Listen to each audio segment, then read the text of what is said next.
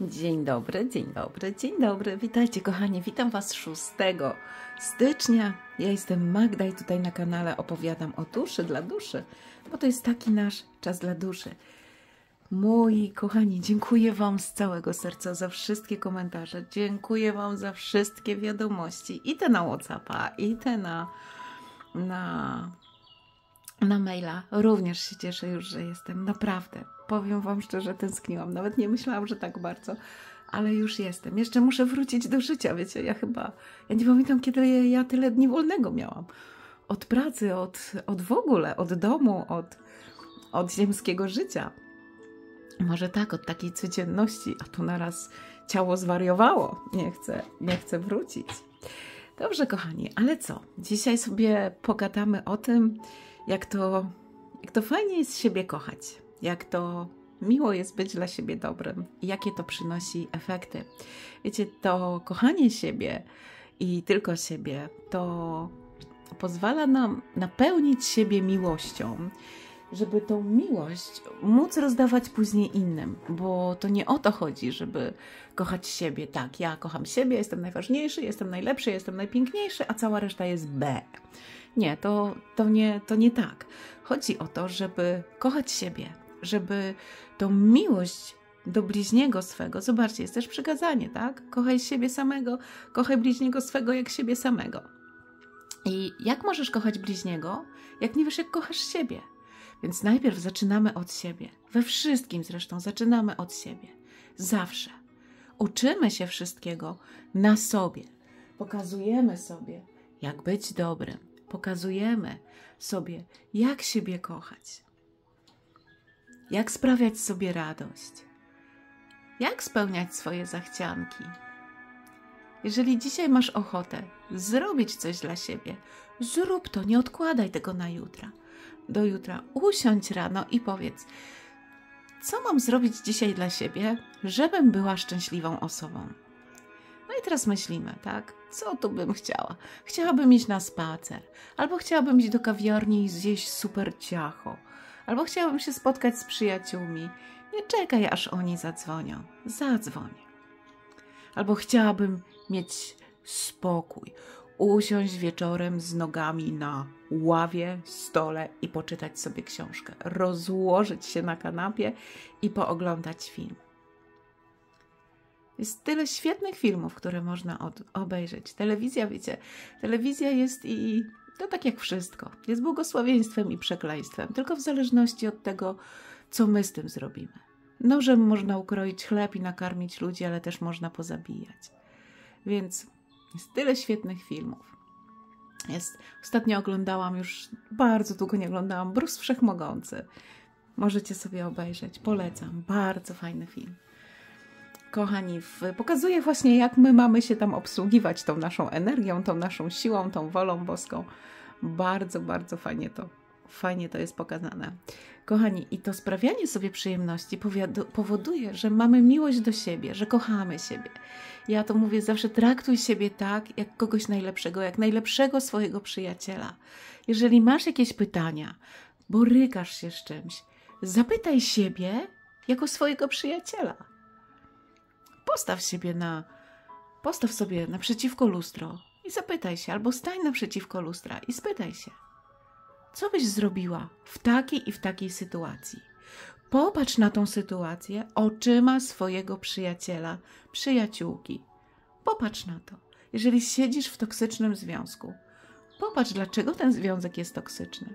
Co tam się zadziało? Ale nie patrz ty jako ty, tylko spójrz jako osoba trzecia.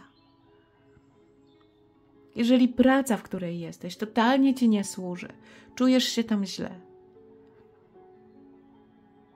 to co byś powiedziała swojej najlepszej przyjaciółce? Jakiej rady byś udzieliła?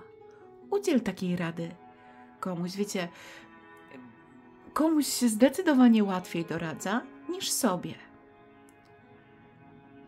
Jeżeli gdzieś coś ciągniecie, poznałaś kogoś i ten ktoś, no taki, spójrz na to, oczyma swojej przyjaciółki. I zobacz, czy warto dalej ten związek ciągnąć, czy może jednak zakończyć. Po cichutku, powolutku, spokojnie. Nie, wcale tego nie oczekuję. Ja oczekuję czegoś innego. Wiecie, oczekiwania tak samo mogą być dobre i mogą mieć później, mogą mieć to negatywny skutek. Ale jakieś marzenia mamy mieć, jakieś wyobrażenie mamy mieć. No dobrze, kochani. Kochamy dzisiaj siebie. Napiszcie później w komentarzu wieczorem, co dzisiaj dla siebie zrobiliście. Co przyniosło Wam dzisiaj radość? Co sprawiło Wam przyjemność? Wiecie, jeżeli na przykład chcecie gdzieś na kawę, na ciacho, a nie macie z kim, a bardzo byście chcieli z kimś iść, napiszcie też może skąd jesteście. Może ktoś z chęcią pójdzie z Wami na ciacho. Jak się dwie dusze rozwinie, rozwijające duchowo dobiorą, wiecie ile jest tematów do gadania? O matko, można o wszystkim dosłownie. Tam można już o wszystkim. No dobrze, to co? Wyciągniemy sobie karty. Tak Archanioł Michał za mną tęsknił, słuchajcie, że, że dzisiaj będzie Archanioł Michał. Co chcesz nam, Archaniele, przekazać? Co chcesz nam powiedzieć? Co ma nam do powiedzenia? Zobaczmy. Która z kart? Widzisz, stworzyłeś tę sytuację i masz bardzo dużo sił, żeby ją zmienić. Dziękuję Ci za pozwolenie mi na oparcie się na Twojej mocy i za przypomnienie o mojej własnej sile.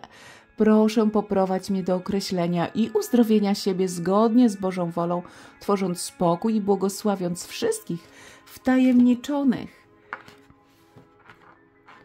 Stworzyłeś tę sytuację, czyli widzicie, jeżeli siedzicie gdzieś w niezdrowej relacji, albo nie wiem, no nawet praca, coś gdzieś, co was uwiera, albo komuś chcecie coś powiedzieć, bo zrobiło wam się przykro, a ten ktoś tego nie widział. Proście anioły, proście Archanioła Michała.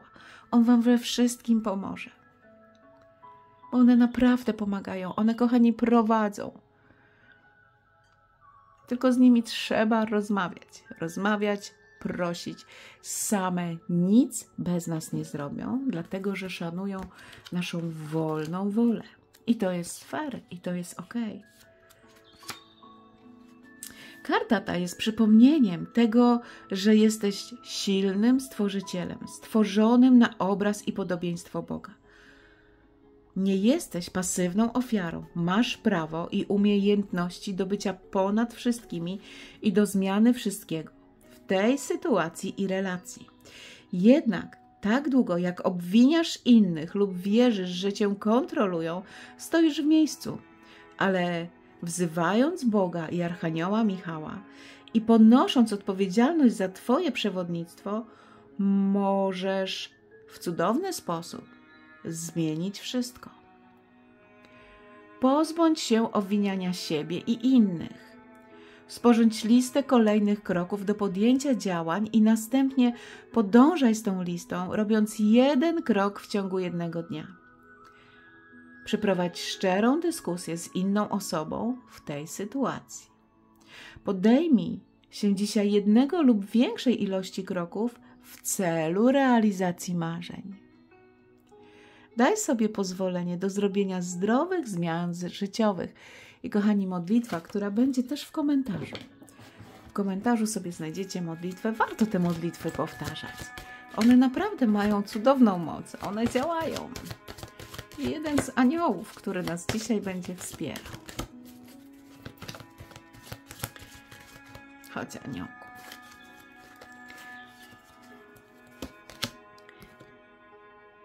Archanioł Raguel przyszedł do nas dzisiaj. Co ten Archanioł Raguel będzie miał nam do powiedzenia? Archaniołowie nie stoją. O, ten stanął. Temu się udało. Archanioł Raguel. Archanioł Raguel. Kochani, ta karta to jest dzisiaj dla mnie, wiecie? Bo to jest postrzeganie ciała fizycznego. Mnie, odkąd wróciłam, po prostu boli całe ciało kontakt z aniołem stróżem, przyjaźń, praca nad samym sobą, szanowanie natury, szanowanie siebie, przestrzeń dla siebie i innych. I kochani, ta, wsłuchaj się uważnie w głos Twojego ciała. Posłuchaj, co do Ciebie mówi. Spróbuj po prostu je zrozumieć. co czują Twoje stopy, stykając się z podłożem, jak głęboki jest Twój oddech, gdzie w Twoim ciele zbiera się i kumuluje energia. Popatrzcie na to, popatrzcie dzisiaj, zaobserwujcie sobie swoje ciała. Zobaczcie też, przyjrzyjcie się swoim ciałom, jak będziecie mówić do siebie dobrze. Co się dzieje? Jak powiesz sobie, witaj kochana, witaj moja kochana, albo cześć stary, dawno się nie widzieliśmy, tak naprawdę. Bo widzimy się codziennie, ale teraz zobaczę prawdziwego ciebie, kim jesteś, jaki jesteś wrażliwy, Pokaż mi to. Chodź, popatrzymy sobie, usiądziemy sobie w parku, popatrzymy sobie na ptaszki. A co? Tobie, twoje ciało przesyła tobie teraz informacje z istotnymi wskazówkami, w jaki sposób możesz pracować nad samym sobą. Popatrz na swoje ciało i też obserwujcie swoje ciało. Co ono będzie robiło, jak ono się będzie zachowywało, co będziecie odczuwać. I kochani, afirmacja. Odnajdę teraz przestrzeń, by być tym, kim jestem. Czuję pulsującą moc ziemi. Oto jestem tutaj i daję temu wyraz, okazując radość życia, okazując miłość do siebie. Życzę Wam, kochani, cudownej soboty. Przytulam Was wszystkich bardzo mocno. Magda.